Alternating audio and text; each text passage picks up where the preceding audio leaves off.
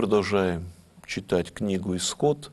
И напомню, мы начали рассматривать путь израильского народа э, от э, Черного моря до Синая. Там встречается несколько сюжетов, которые являются прообразом Христа, который является типусом, образцом, неким э, особым сюжетом, символом, притчей, которая показывает значение Христа и в жизни церкви, и в жизни каждого человека. В прошлый раз мы успели рассмотреть только горькие воды меры. После этого израильский народ приходит в Илим, где есть оазис. В этом оазисе 12 источников и 70 пальм. Это образ церкви в пустыне мира, как храм стоит среди э, мировой пустыни, так церковь стоит среди мировой пустыни, как оазис, в буквальном смысле слова. Ведь только в церкви, нравится тому это кому-то или нет, но только в церкви изливаются потоки воды живой. Мудрость, чудеса, праведность, честность, мужество есть и в других э, религиозных э, традициях, практиках, но потоки живой воды среди пустыни, которая задыхается от жажды, как лишенная Святаго Духа, только в церкви есть эти потоки живой воды. Только церковь напаяется и поэтому зеленеет среди пустыни, в которой много чего есть, но нет духа жизни. Далее мы видим, что после посещения этого оазиса, очевидно, больше никаких таких подобных оазисных э, явлений не будет в шествии израильского народа. Поэтому сразу после этого Господь дает им манну – как говорит э, псалтырь, хлеб ангельский еде человек. То есть хлеб небесный посылает Бог каждый день, за исключением субботы, чтобы накормить свой народ. Это не ахти какая по изысканности пищи, но пища достаточно приятная на вкус и сытная. Она будет падать в течение всего времени пребывания израильского народа в пустыне и питать его, именно питать, не услаждать его вкус, не уточнять его, а просто питать. Простая, здоровая, но жизненно богатая пища. И, разумеется, эта манна является прообразом той манны, которой причащаются э, все члены церкви, хлеба небесного – тела и крови Иисуса Христа. Между манной и телом Христовым разница необыкновенная. Она онтологическая разница, потому что мы вкушаем тело Бога, а манна была просто неким э, интересным продуктом, но не имеющим божественное э, бытие, причастность к божественному бытию. И хотя между телом Христовым и Евхаристией и манной разница огромная типологически, они показывают одно и то же. Человеку, идущему в землю обетованную, человеку, идущему в Царство Божье, необходима пища, которая укрепляет его в этом пути – в этом пути он не может найти иную пищу, кроме той, которая дает ему Бог. Только та пища, которую посылает Бог, помогает ему дойти до земли обетованной, войти в Царство Божье, войти в открытые царские врата. Если он не будет употреблять этой пищи, вся тленная пища, она э, не даст ему сил идти. То нужна именно небесная пища в пустыне нормальной пищи взять просто негде, той пищи, которая давала бы действительно силы.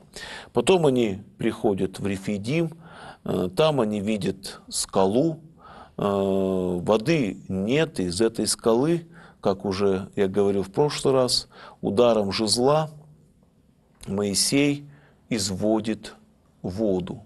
Проливается вода, люди напаяются этой водой, и смысл этого явления тоже достаточно очевиден и понятен, что Бог есть источник воды живой.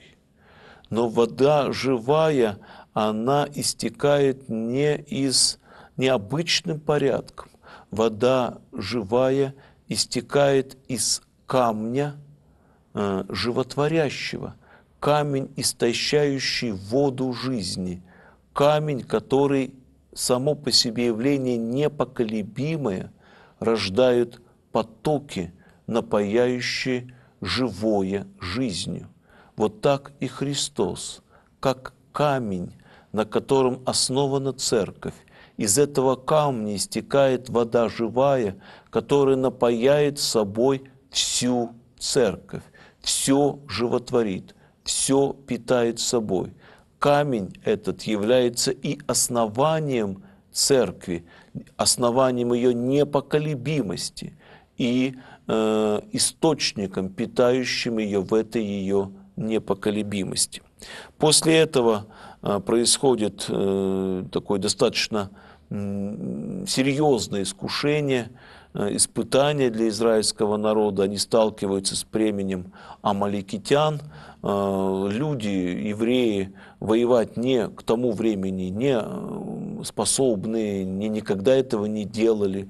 На протяжении нескольких столетий это был вполне себе мирный народ, не державший в руках оружие, никакой воинской сноровки, но воинской храбрости, воинской доблести, да просто хорошего оружия и боеспособных частей у евреев нет. Естественно, поэтому они не могут выдержать натиска Малика. И тогда э, Моисей поднимается на гору, простирает руки крестообразно, и когда эти руки распростерты, народ побеждает. Как только руки устают и опускаются, народ начинает а, погибать, э, он одолевается Амаликом.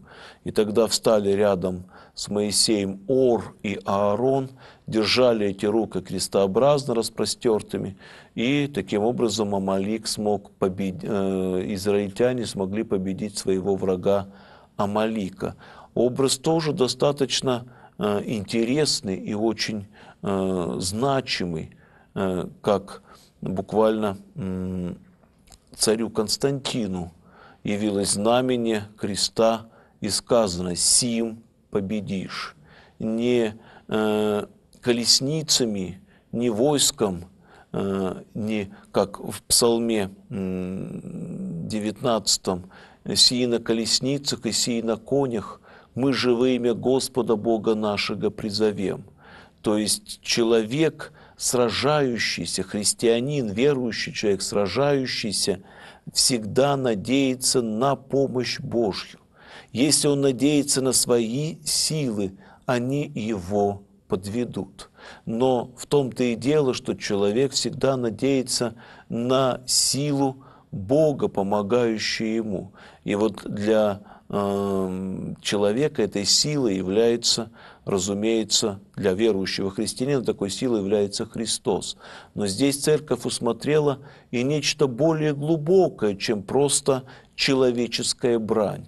Э, Амалик – это враг – ибо подлинная брань наша не с людьми, подлинная брань наша с врагом нашего спасения, с нашим вековечным врагом, с тем, кто лишил нас жизни, с тем, кто оторвал нас от Бога. Вот с этим врагом идет непрестанная брань человека, э, живущего по воле Божьей. И вот чтобы победить этого врага, врага неизмеримо превосходящего нас по искусству, по мудрости, по силе, по наглости, по всем своим возможностям победить сатану и всех ангел его. Для этого никаких возможностей у нас нет, только сила Иисуса Христа, сила распятого именно распятого Христа, она сильна для сокрушения вражьей твердыни. Только крест может сокрушить силу нашего подлинного, настоящего врага. Только крест есть а, оружие на демонов, на бесов, на сатану. Без креста никакой победы над ним не может быть, потому что именно там, вися на кресте, Христос победил нашего врага. Вот это уроки первого половина пути. В конце концов, э, израильский народ доходит до э, Синая, располагается станом напротив горы. Э, после Синая будет еще долгий путь, сначала до земли обетованной, потом еще 40 лет странствования по пустыне, но принципиально – путь до Синая очень сильно отличается от пути после Синая. Ведь э, мы уже говорили о том, что за все это время израильский народ всякий раз ропщет. В сражении с Амаликом, э, стояли ли пред скалою, находясь ли на горьких водах Меры, народ постоянно ропщет, постоянно негодует, постоянно ослушивается Бога. И ему за это ничего не бывает. Израильский народ еще не ведает своего Бога. Именно в прямом смысле он его не знает. Еще, ему нужно еще встретиться со своим Богом. И эта, Бога, и эта встреча будет на Синае. Еще ему нужно услышать, что именно хочет от него Бог и это будет тоже на Синай. И еще израильский народ не вступил ни в какие отношения с, э, с Богом, он еще не в состоянии завета, он еще ничего не обещал. И а это тоже случится на Синае. Поэтому путь после Синая будет очень сильно отличаться от пути до Синая. За каждый ропот, за каждое возмущение, которых будет немало у израильского народа, он будет наказуем, ибо теперь он знает своего Бога, ведает, что творит, и творит это сознательно. Теперь он дал клятву верности Богу, обещал, что он будет исполнять заповеди Божьи. Теперь он знает Бога, потому что вступил с ним в завет. И вот, и вот мы, собственно, и начинаем сейчас разговор о том, что произошло на Синае.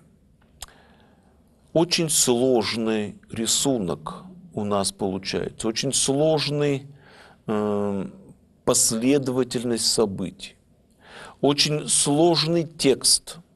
С этого момента начинается очень непростой, э, вот, скажем так, непростое повествование о том, что происходит там на Синае.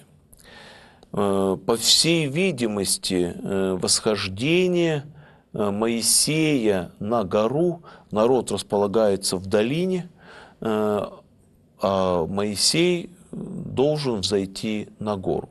И вот это восхождение Моисея на гору, по всей видимости, было не одно.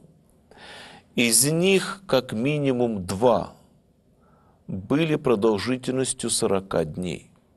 Но восхождение было, по всей видимости, если вот так буквально вчитываться в контекст повествования, было значительно больше. Только таких вот долговременных отсутствий Моисея и особенных его подвигов было как минимум два. Традиционно их назначают три вот этих 40-дневных подвига, но два совершенно точно о них сказано буквально в тексте книги «Исход». Начинается это описание пребывания израильского народа на, у Синая с 19 главы. И вот прям сама 19 глава, она очень подробно Э, скрупулезно, я даже сказал, описывает эти э, последовательность событий. Получается, что сначала Моисей, по всей видимости, это та гора, где он и видел неопалимую купину, э, так, по крайней мере, ничего не говорится в исходе в этом месте здесь, но об этом говорится в том месте, где Моисей видел неопалимую купину. Бог дает ему знамение, что ты придешь здесь с народом и поклонишься мне. И, очевидно, Моисей просто для начала поднимается там, где он видел неопалимую купину, там, где он встретился с Богом первый раз. Это догадки, мы не можем это никак э, вот, подтвердить. Но мы знаем, что он поднимался на гору, просто пытаемся объяснить, почему. Он поднялся на гору, вернулся, вернулся для того, чтобы, то есть это был кратковременный подъем, он вернулся для того, чтобы сказать, что народ, народу, чтобы он три дня готовился к встрече с Богом. То есть все достаточно понятно. Он поднялся на гору, э, и Бог дал ему указание подготовить народ. Три дня народ готовится. Через три дня э, вершина начинает колебаться э, от дыма, огня, грохота, трубного голоса. И народ, конечно, испугался и он боится.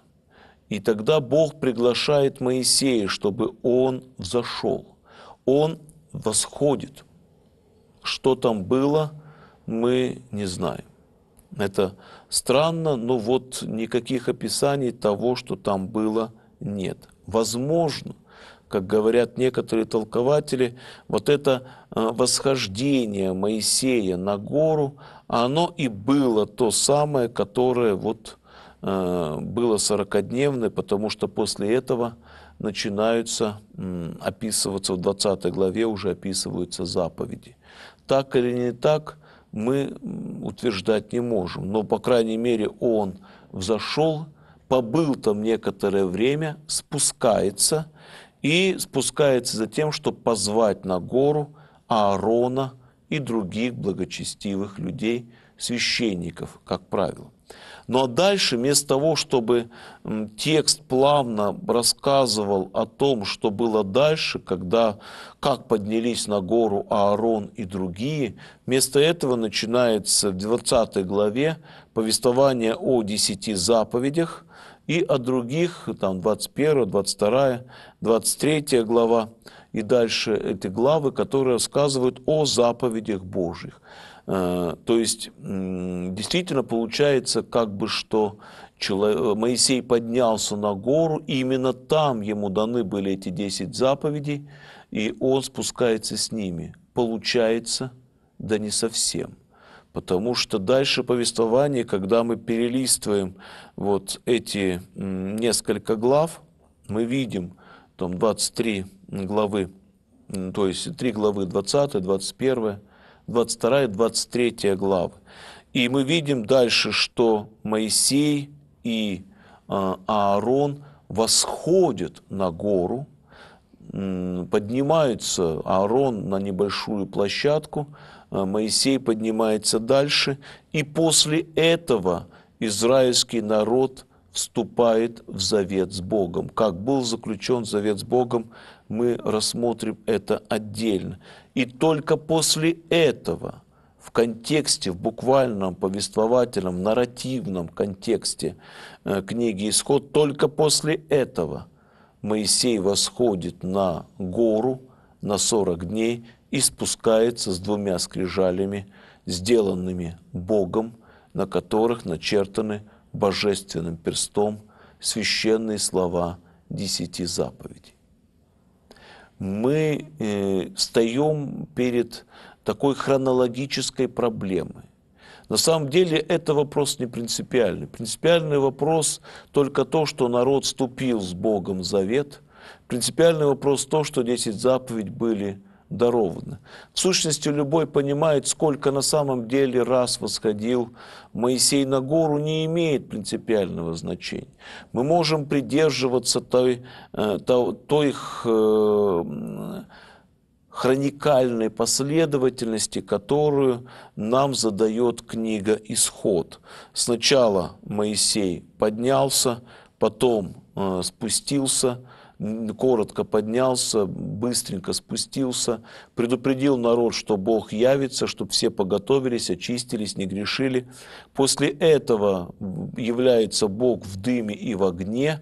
Э, после этого Моисей снова восходит и возвращается, чтобы позвать Аарона и других благочестивых людей. Аарон и другие люди приближаются, Моисей восходит на гору, после этого спускается и заключает завет.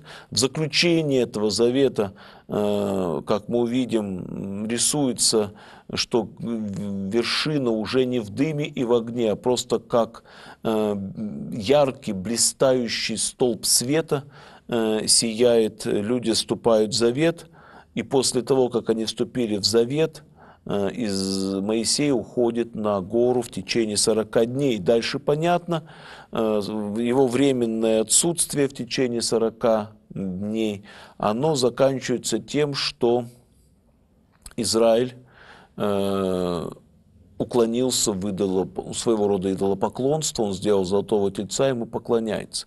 Но между главой, между стих, стихом и главой, в которой повествуется о том, что Моисей поднялся на гору и был там 40 дней, вставляется почти шесть глав, которые повествуют о том, как должна быть устроена скиния, которая, разумеется, не могла быть устроена во время отсутствия Моисея. Именно там, на горе, он этот образ скинии, собственно, и увидел, там она была показана.